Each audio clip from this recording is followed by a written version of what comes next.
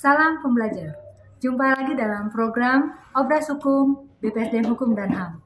Pada hari ini kesempatan kita untuk berbicara tentang topik kasus yang sedang viral belakangan hari ini dari public figure atau selebgram Baim Wong. Baik, ada uh, narasumber kita yang akan menjelaskan mengenai beberapa poin pertanyaan yang akan saya berikan nanti, yaitu Bang Ali Usman, penyuluh hukum dari BPSDM Hukum dan HAM. Bang, ini ada beberapa pertanyaan nih Bang, dari kasus viral yang sekarang lagi heboh-hebohnya. Selegram yang itu marahin seorang bapak tua. Oke, pertanyaan nih Bang, yang pertama. Kan dari video yang viral saat ini mengenai Baim Wong yang memarahi, dari video itu ya, terlihat memarahi seorang bapak tua. Dan uh, dari video itu juga uh, dilihat dan dinilai bahwa Baim Wong itu diikuti oleh bapak tua itu sampai ke depan rumah. Terus bapak tua itu dianggap meminta uang. Nah, ini dari kasus ini nih Bang yang viral ini, bagaimana sih uh, tanggapan Abang sebagai penyuluh hukum atas uh, video yang viral itu? Memang kalau kita lihat kasus antara Baim Wong dengan seorang bapak tua ini, kita jangan hanya menilai dari salah satu pihak saja. Kalau kita melihat dan menilainya hanya dari salah satu pihak saja, maka kita akan cenderung menyalahkan dan akan menghakimi salah satu pihak saja. Bapak tua mengikuti atau membuntuti Baim Wong di sepanjang perjalanannya sampai ke rumah pasti juga mempunyai maksud tersendiri. Karena semua orang sudah tahu baik melalui media elektronik maupun media sosial kalau sosok Baim Wong ini adalah sosok yang suka berbagi-bagi rezeki kepada orang lain. Adapun sikap Baim Wong yang memarahi bapak tua tersebut pasti juga mempunyai alasan tersendiri. Kalau orang sudah marah itu berarti ada yang terusik dengan dirinya. Ada yang terusik dengan perasaannya, bisa karena merasa tidak aman, tidak nyaman, karena sepanjang perjalanannya telah diikuti atau dibuntuti. Kemudian dimintai uang oleh bapak tua tersebut yang pada akhirnya memicu kemarahan Baim Wong.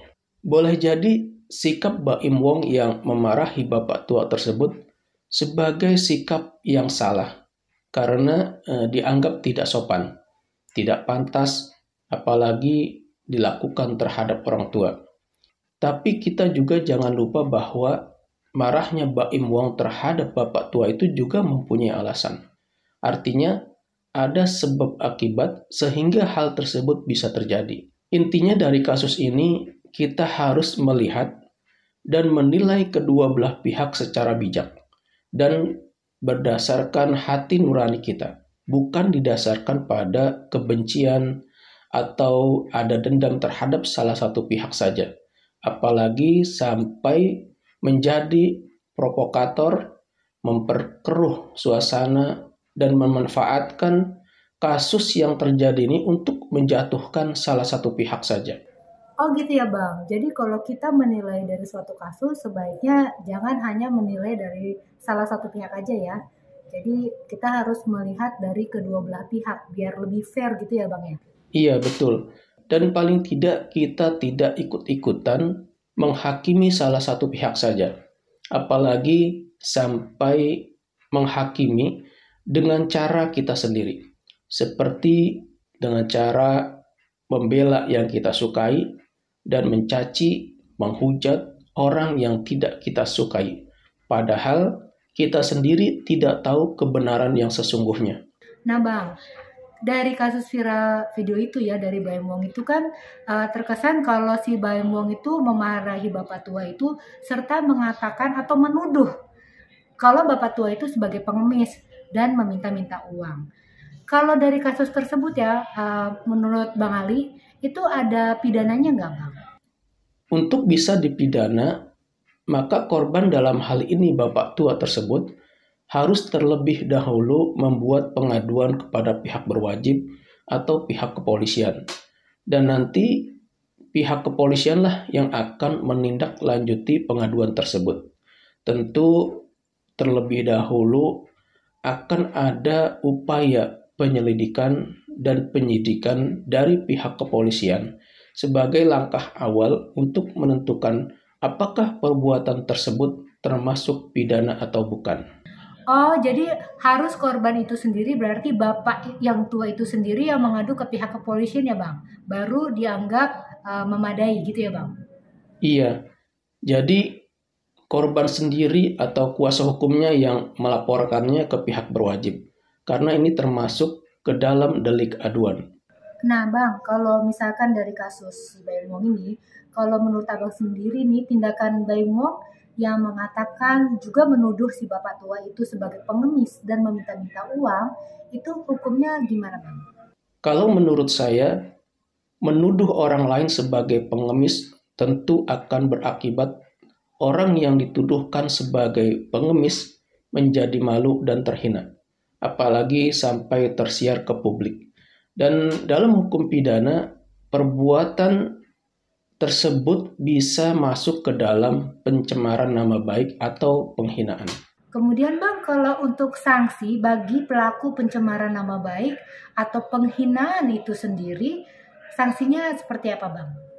Mengenai sanksinya, kalau perbuatan pencemaran nama baik atau penghinaan dilakukan dengan sengaja menyerang kehormatan atau nama baik orang, menuduh melakukan suatu perbuatan seperti mengatakan sebagai pengemis atau menista dengan lisan, maka pelaku bisa dituntut berdasarkan pasal 310 ayat 1 Kitab Undang-Undang Hukum Pidana tentang penghinaan dengan ancaman pidana penjara paling lama 9 bulan atau denda paling banyak 4.500.000 rupiah.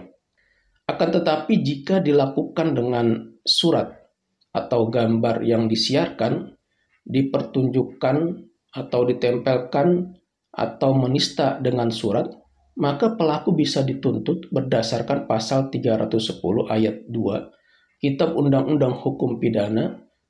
Itu ancamannya itu pidana penjara selama-lamanya satu tahun empat bulan. Atau denda itu 4.500 rupiah dalam KUHP tapi jika dikonversi itu menjadi 4.500.000 rupiah. Selain itu bisa juga dituntut berdasarkan pasal 315 Kitab Undang-Undang Hukum Pidana tentang penghinaan ringan.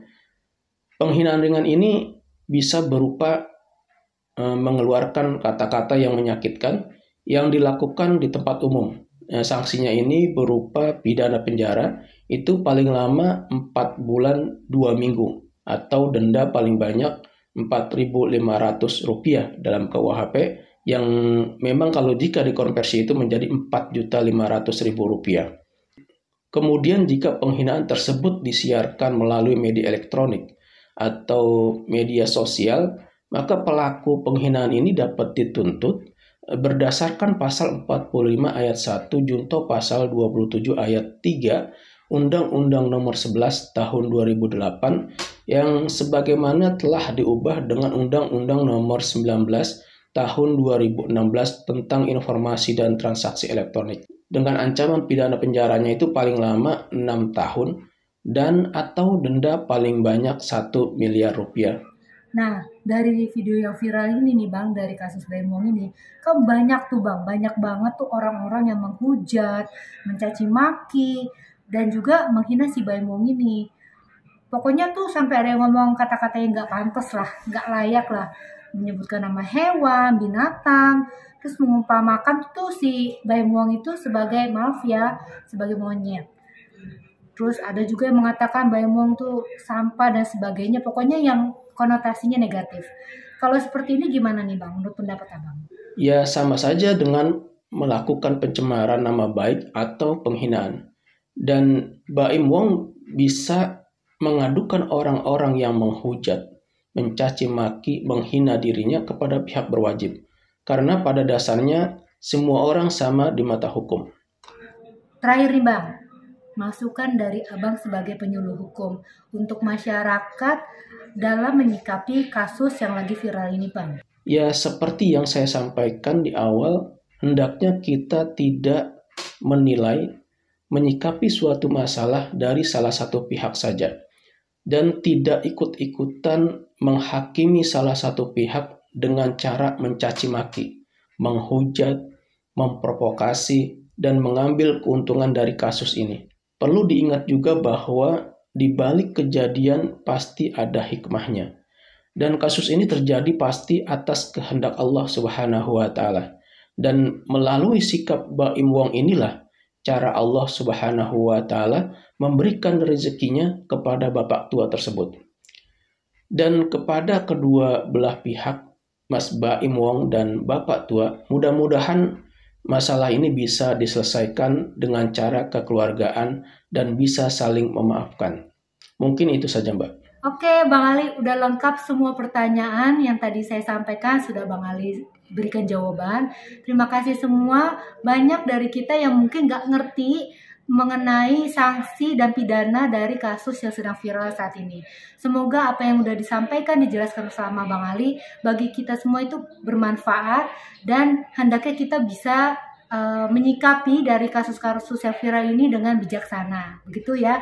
Jadi uh, akhir kata untuk kegiatan obras hukum pada hari ini telah selesai. Terima kasih atas partisipasi semua yang sudah menonton acara ini. Selamat melanjutkan aktivitas dan salam, salam pembelajar. pembelajar.